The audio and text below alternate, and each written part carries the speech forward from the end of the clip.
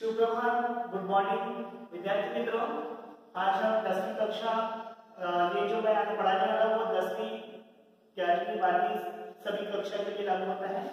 आज मैं कारक, ठीक है?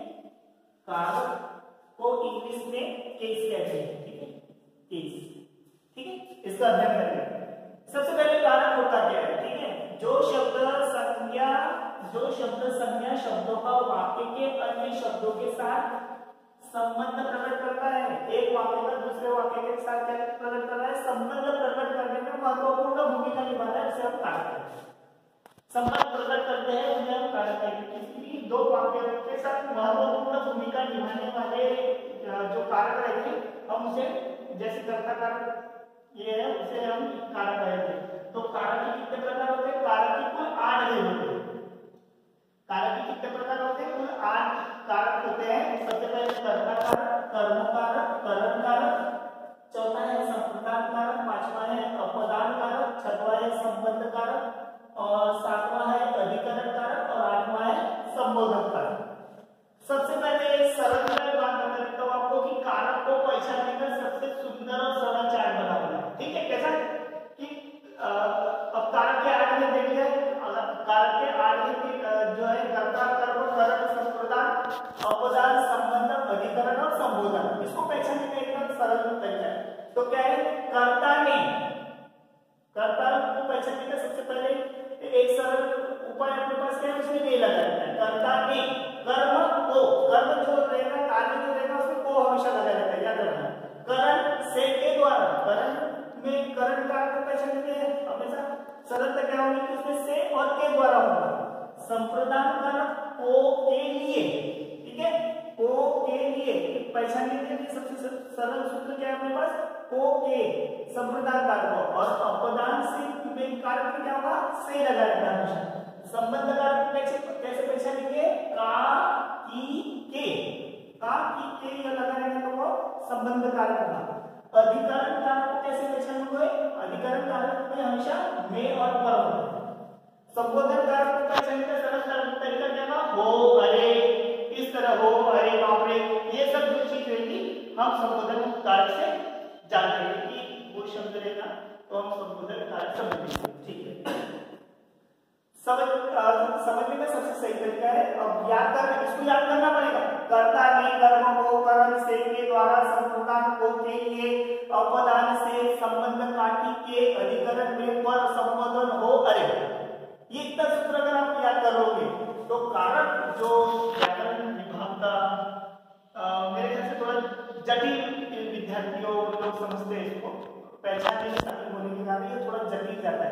पर ये सरल सूत्र को जान लेने से हम कारक बहुत सरलता से समझ रहे हैं, ठीक है? अब कर्ता कारक को कैसे पहचानते हैं? कर्ता कारक, क्या होना संज्ञा या सर्वनाम के जिस रूप से क्रिया के करने वाले का ज्ञान होता है, वो कार्य कर रहा है। इसका हमें ज्ञान कराता है। वो कौन सा कारक होता है? कर्ता कारक उस रूप को कर्ता कारक कहते हैं, ठीक है? कर्ता कारक क्या होगा कि जिस संज्ञा या सर्वनाम की जिस रूप से क्रिया के करने वाले का ज्ञान होता है, उस रूप को कर्ता कारक कहते हैं। देखिए एक सुंदर सा उदाहरण, सीता ने पढ़ा। किसने पढ़ा? सीता ने। देखो, कर्ता ने लगा है, सीता ने।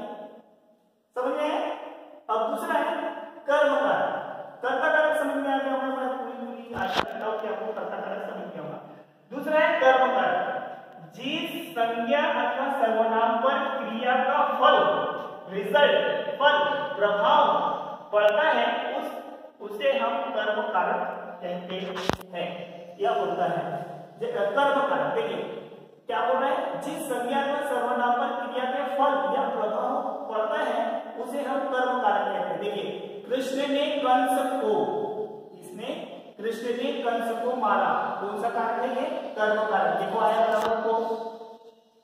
कर्म को कृष्ण ने कंस को मारा इसलिए क्या ये कर्म कारक अब तीसरा हम देखेंगे करण।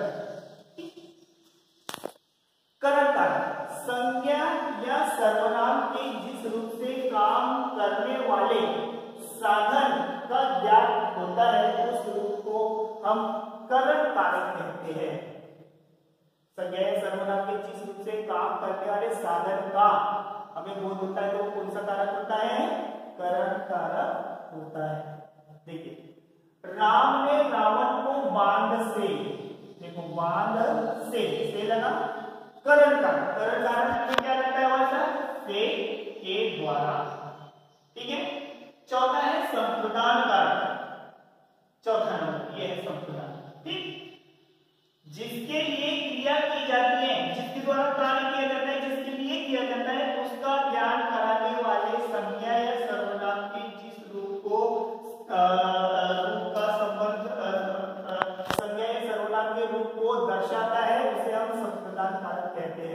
संप्रदान कारक में हमेशा क्या लिखा रहता है?